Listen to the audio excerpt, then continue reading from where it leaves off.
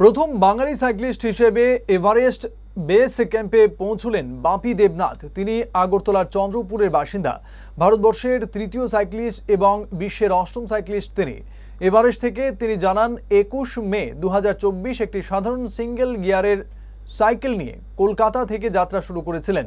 কলকাতা থেকে বেনারস হয়ে অযোধ্যা, পাঞ্জাব, কাঠমান্ডু সবশেষে আজ এভারেস্টের বেস ক্যাম্পে পৌঁছে সাইকেল চালানো শেষ করেন তিনি। তিনি আগরতলা উমাকান্ত একাডেমির প্রাক্তন ছাত্র। কর্মসূত্রে তিনি বেশ কয়েক বছর ধরে কলকাতায় থাকেন।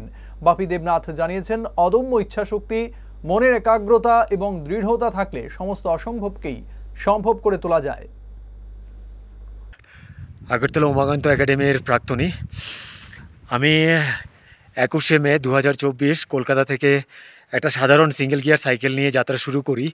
মাউন্ট এভারেস্টের উদ্দেশ্যে এবং আমার রুট ছিল কলকাতা বানারস অযোধ্যা সানোলি বর্ডার কাঠমান্ডু ভূখণ্ডবেশি গুরমি ওখলদুঙ্গা সাল্লেরি নামচে বাজার হয়ে আজকে চোদ্দোই জুলাই দু হাজার চব্বিশ দশটা পঞ্চান্ন মিনিট ভারতীয় সময় অনুযায়ী এভারেস্ট বেস ক্যাম্প কমপ্লিট করি এবং এটা কমপ্লিট করার সাথে সাথে একটা ওয়ার্ল্ড রেকর্ড ক্রিয়েট হয়, যেটা হচ্ছে প্রথম বাঙালি সাইক্লিস্ট হিসাবে আমি এই রেকর্ডটা করি এবং ভারতবর্ষের তৃতীয় সাইক্লিস্ট এবং পুরো বিশ্বের মধ্যে অষ্টম সাইক্লিস্ট হিসাবে এই রেকর্ডটা করা